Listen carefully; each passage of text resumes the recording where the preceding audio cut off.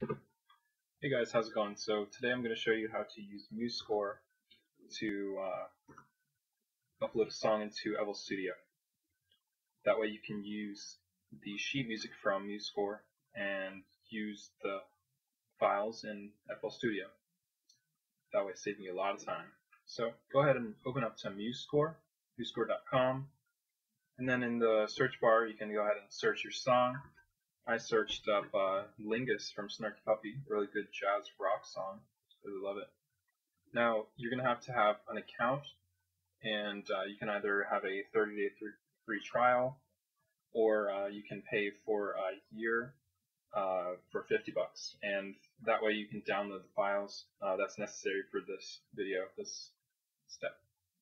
So, once you have the song and everything, you're going to go ahead and click download and then open in MuseScore.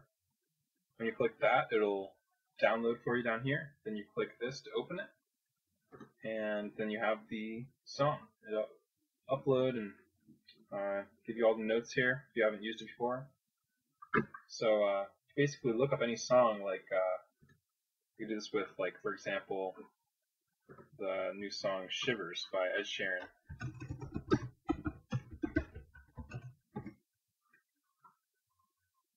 Started working with this uh, this song recently. Haven't finished it, but it's a pretty good song. He put out a new couple new songs.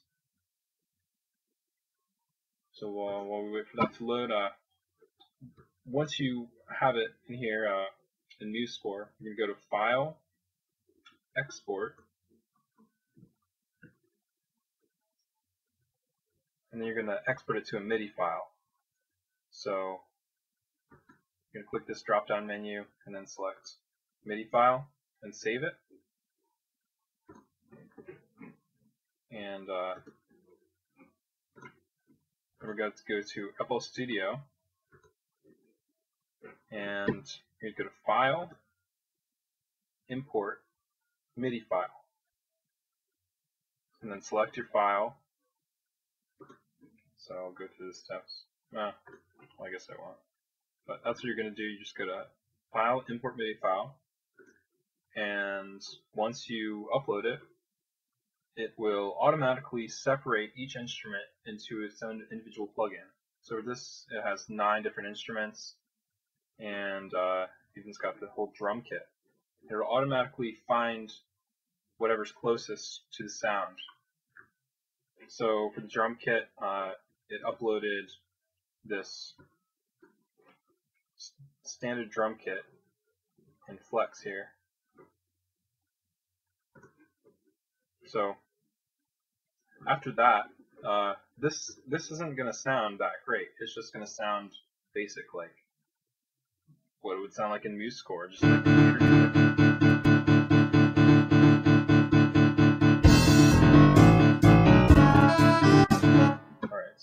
not do the song justice whatsoever. So what I do, open up my project, what I do with the song. So let's go to the drums.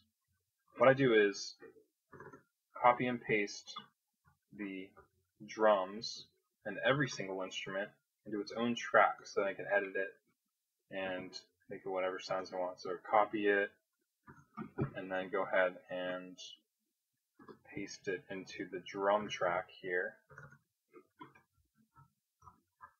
So there's the whole drums. Now it's its own track. I can edit it. I can add notes, take away notes, adjust the volume, the whole shebang. So then I do that for all of the tracks. So instead of it sounding like computer music, now it sounds like this.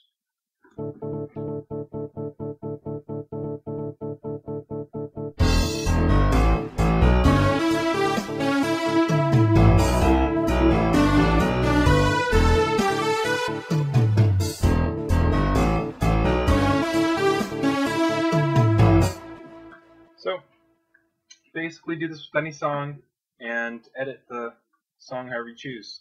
So hope you guys learned something from this video and have fun with that. Alright, have a good one. Bye-bye.